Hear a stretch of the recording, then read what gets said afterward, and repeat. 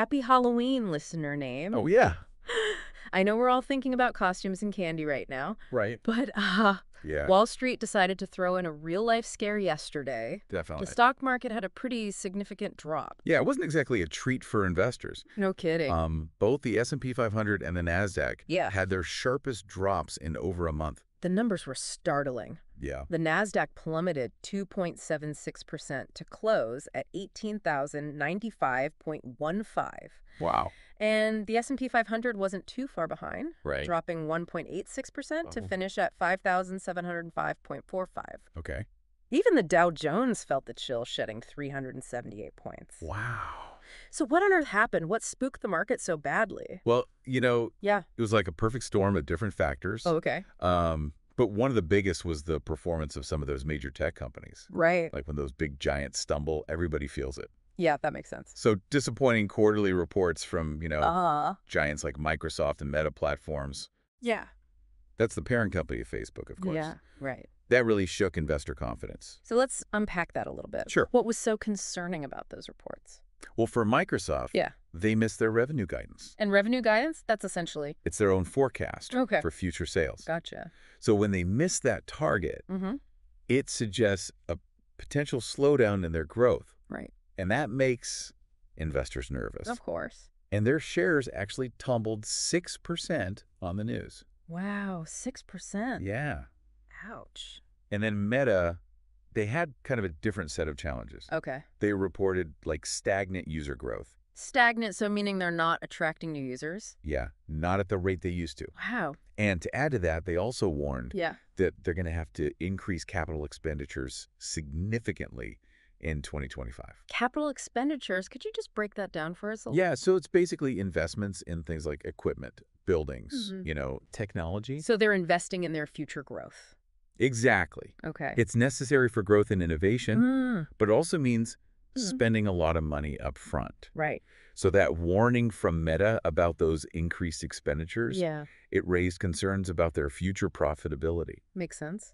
And investors kind of ran for the exits. Wow. So it's a good reminder that Yeah. even with all the hype around AI, Right. the market still wants to see those concrete results. Absolutely. And the returns on those investments. Yeah, it's not just about promises anymore, is it? Nope. So it's a reminder that even those tech giants aren't invincible. It's true. But was there anything else contributing to this market downturn besides the tech troubles? Yeah, actually, the release of Thursday's personal consumption expenditures report, you Mm, know, the PCE report, Uh-huh. that played a role too. And that's a key indicator of Inflation. Inflation. Oh. And it showed that inflation was moving closer to the Federal Reserve's 2% target. Now, on the surface, that sounds like good news. Right. Inflation cooling down. Yeah, you would think. Yeah. But it also kind of created some uncertainty. Okay. See, this report, it suggests that inflation might be stickier than we thought. hmm And that makes the Fed's upcoming interest rate decision on November 7th Right. even more crucial. Okay. Investors are kind of on edge, Sure. wondering if the Fed will raise rates again. So this PCE report is like a plot twist. It Yeah. just throws in another layer of complexity and uncertainty. You got it. All right, so we've got the tech sector woes. Mm-hmm. Now we've got this PCE report adding to the drama. It's like a financial thriller unfolding. it really is. Mhm. And then to make things even more interesting, Yeah. we have this concept of stagflation looming. Right. Now, I know stagflation is a combination of economic stagnation and high inflation, Right. but can you explain why that's so worrisome? Well, what's fascinating about stagflation is that it presents a real dilemma for policymakers okay. because, you know, the tools that are traditionally used to combat inflation, Right. like raising interest rates, Yeah. can actually worsen economic growth. Oh, so it's like a double-edged sword. Exactly. It's like you're trying to solve two problems at once, Yeah. but the solution for one makes the other one worse. Wow. And, you know, despite the Fed's efforts to control inflation, that those rate hikes we had earlier this year, Uh-huh. prices are remaining stubbornly high. Okay. And that puts pressure on businesses, households, Right. squeezing budgets, Yeah. and potentially hindering economic growth further. So it's kind of like this Yeah. seesaw stuck in midair That's a great way to put it. where both sides are elevated and nobody's happy. Nobody's happy. Yeah. And, you know, this uncertainty is rippling through all sorts of sectors, yeah, for sure. not just the stock market. Right. Um, let's shift gears for a second and talk about real estate. Okay, listener name. Buckle up. We're about to enter a haunted house of a different kind, the mm-hmm. real estate market. Right. What's been going on there? Well, September saw home sales plummet to their lowest levels Wow. since 2010, Really? which is pretty stark compared to, you know, the frenzy we saw just a couple of years ago. Yeah, absolutely. So sales of existing homes dropped 1% compared to August, Okay. with an annualized rate of just 3.84 million units sold. That's a big drop. It is, and to put it in perspective, Yeah. year over year, sales have plunged by 3.5%. Wow. It paints a pretty bleak picture, I'd say, Yeah, no of kidding. the housing market. So we've got this backdrop of economic uncertainty, Yeah. and now we've got a real estate market that's suddenly gone cold. Yeah. What's driving this? Are these things all connected? They're definitely interconnected, Mm. but there are a few specific factors with real estate that we should probably explore. Let's dive into those details then. Right. What's at the heart of this real estate slowdown? Well, one thing that's really shaking things up Uh huh. is the rise of the cash buyer. Oh, interesting. They are dominating the market right now. Really? They account for a whopping 30% of deals. 30%. Wow. Yeah, that's way higher than the typical 20%. Okay, so what does this mean for someone like you, listener name? If you're thinking about buying a home, Yeah. what does that mean? Well, it means you're facing tougher competition than ever before. Right. Think about it. Yeah. If you're relying on a mortgage, Mm-hmm. You're going up against buyers who can just make these all-cash offers. So that gives them a huge advantage. Huge. And I imagine that puts first-time home buyers at a particular disadvantage. Absolutely. First-time home buyers, they typically have less cash on hand, Yeah. and they rely more on those mortgages. Right. In September, they represented a record low of 26% of sales. Wow.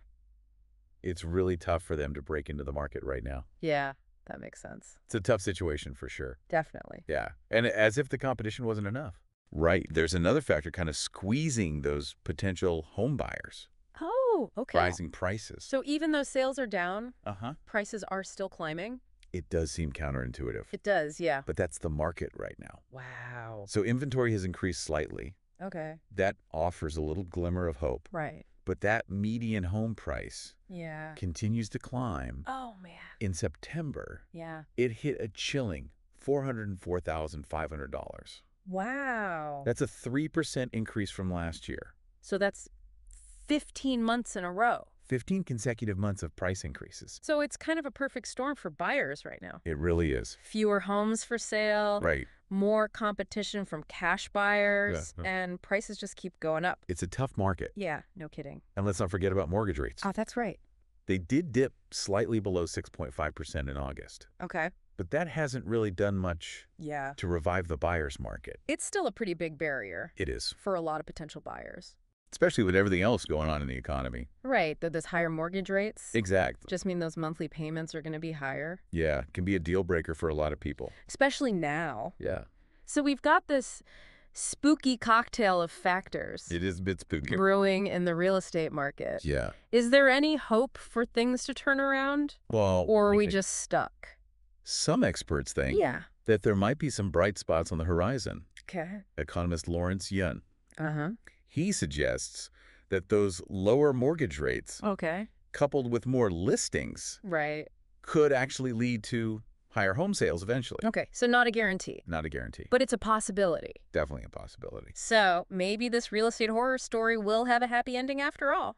I hope so. But before we get too optimistic, Yeah. I think it's important to connect this back to you, listener name, Oh. and what you're interested in Sure. based on those articles you sent. It seems like you're really interested in how AI is impacting the tech sector. Absolutely. That Yeah. ties right back into what we were talking about with Microsoft and Meta. Yeah, exactly. Remember how we were saying that both companies are investing heavily in AI? Right. But the market's reaction to their reports Yeah. shows that investors are starting to wonder Mm. If those investments will really lead to actual profits. Right. It's not just about the technology itself. It's not. It's about how those companies can actually use it Right. to drive growth and innovation and Uh-huh. really show results for their investors. In a way that translates to tangible results. yeah. That, It's a key takeaway, I'd say, for sure. for anyone who's following the tech sector. Yeah. You know, that hype surrounding AI, Oh, yeah. it's undeniable. Absolutely. But the market is getting more discerning now. Right. They're not just looking for promises. Yeah, they want substance. They want to see how AI is actually being used, Uh huh. you know, integrated into products and services. Yeah. How's it impacting efficiency, productivity, Right. and ultimately, how is it contributing to that bottom line? So the message is don't just get swept away by all the AI hype. Exactly. You got to look beyond the headlines and focus on the fundamentals. Absolutely. How are companies actually using AI to create value? That's the question. Yeah. And that actually applies not just to tech companies, Right. but to any business that's Okay. using AI, Uh huh. you know, incorporating it. So how are they using it to solve real world problems Exactly. and drive those business outcomes? yeah. Okay, that's a good point. It all comes back to the bigger economic picture. We've Yeah. talked about the stock market, Yeah. real estate, Yeah. the challenges of inflation, Right. the possibility of stagflation. It's a lot to process. It is. So I want to pause here for a second and just ask you, listener name. Yeah. What are your thoughts on all of this? It's a lot to digest. It is. What's resonating with you the most? You know, I think it's important to remember that these are really complex issues. They are. There are no easy answers. Right.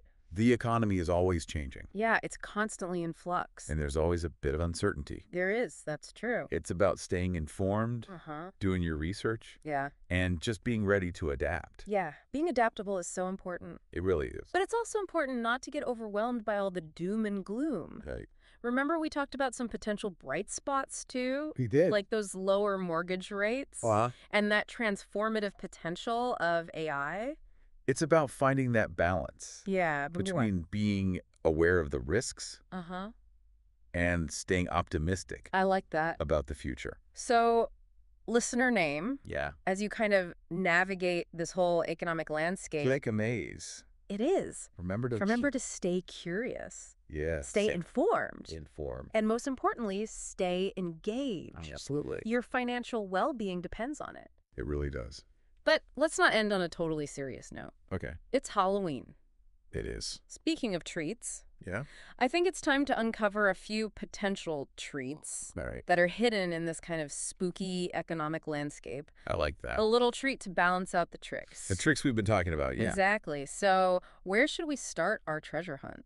Yeah. It's been quite a journey It has, exploring all the twists and turns for sure. of this crazy economic landscape. Yeah, Uncovered some spooky stuff, definitely spooky. but we also found some, you know, Yeah. hidden treasures along the way. yeah, the opportunities. Resilience. Yeah. I got to say, I'm feeling more treat than trick Me too. Me too. after all this. I think that's the right way to look at it. Yeah, Even amidst all the uncertainty Yeah. and volatility, right. there's always a reason for optimism. Yeah, I mean, the economy is a living thing. it is. It's constantly changing, It's dynamic. dynamic. yeah. And, you know, we've seen it throughout history. We have. even in the face of those really big challenges. It's true. Humans are adaptable. We are. They find a way. We find a way. yeah. That's why I think, you know, while it's good to be aware of the risks Right. and, you know, proud. prepare for the potential downturns, Yeah, absolutely. it's equally important to stay optimistic. Yeah, to keep that long-term vision. Long-term vision, exactly. So what would you say are like the key takeaways for our listeners today? Okay, let's think about that. What should they be thinking about Yeah, what should they be thinking about? as they're navigating this crazy economic world? Well, I think first and foremost, Mhm. it's stay informed. Right. Stay informed. Pay attention to the news, Yeah. read articles, listen to podcasts, Like this one. like this one, of course, Right. and just do your research. Knowledge is power. It really is. Right.